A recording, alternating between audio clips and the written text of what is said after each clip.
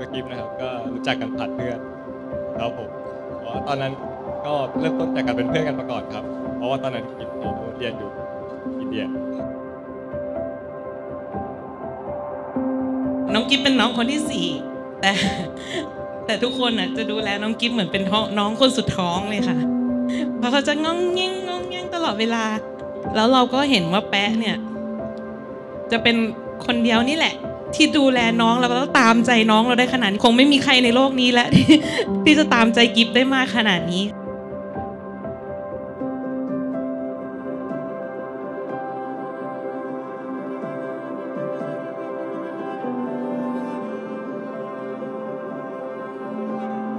วันนี้คือวันเริ่มต้นมันดีทุกอย่าง แต่เมื่อถึงวันหนึ่งต้องกลับมาคิดถึงวันนี้ว่า ถ้าสมมติมีอะไรที่ยอมกันได้ควรจะยอมกัน คองการสร้างชีวิตครอบครัวใหม่ที่กำลังจะเกิดขึ้นต่อไป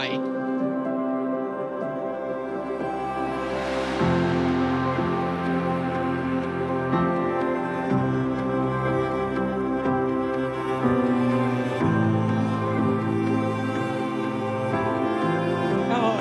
ดีใจกับน้องด้วยที่แบบปกติกิฟเขาก็เป็นคนดูแลจิตใจคนอื่นก็วันนี้เห็นมีผู้ชายดีๆที่แบบว่าอยู่กับน้องมานานแล้วก็ มาดูแลน้องก็รู้สึกดีใจ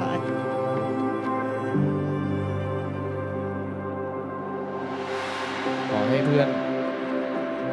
มีหลานไวๆนะ แล้วก็ขอให้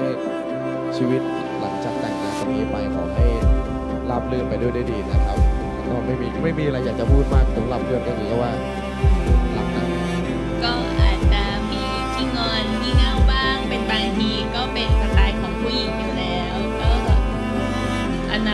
ขึ้นก็พยายามจะปรับปรุงตัวให้ดีขึ้น แล้วก็พยายามดูแลเอาใจใส่มากขึ้นกว่าเดิม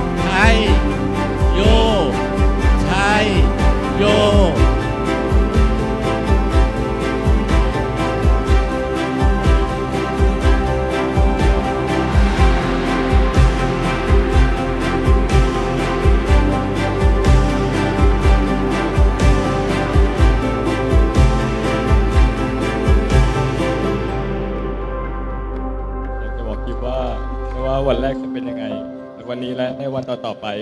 ก็ยังจะคงตามใจกิฟแล้วก็กิฟอยากได้อะไรหรืออยากยังไงขอแค่กิฟบอกครับ พร้อมจะทำให้ทุกอย่างครับ